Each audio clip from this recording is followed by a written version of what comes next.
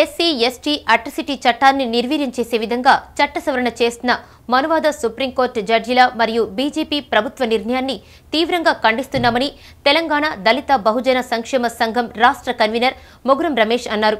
ఇప్పటికీ దేశంలో దళితులకు సరైన న్యాయం జరగడం లేదనే బంద్కు పిలుపునివ్వడం జరిగిందన్నారు. కరీంనగర్ జిల్లాలో బంద్ను దళితులు ప్రశాంతంగా నిర్వహిస్తుంటే పోలీసులు ఆటంకాలు కలిగించడం హేయమైన చర్య అని మండిపడ్డారు. ఈ కార్యక్రమంలో దళిత యువసేన రాష్ట్ర అధ్యక్షులు మారంపల్లి లక్ష్మీనారాయణ మానేటిరాజు మెట్టు చంద్రశేఖర్ తదితరులు పాల్గొన్నారు.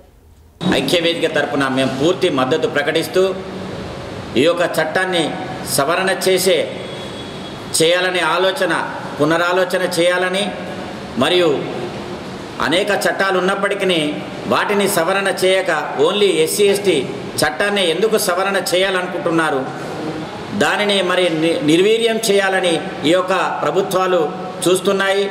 కనుక దీన్ని నిర్వీర్యం చేయడానికి అవకాశం లేదు. మరి దీన్ని ఒకవేళ నిర్వీర్యం చేయాలనుకుంటే దేశవ్యాప్తంగా కూడా పెద్ద ఆందోళన కార్యక్రమం చేపట్టవలసినటువంటి ఆవశ్యకత ఉంది.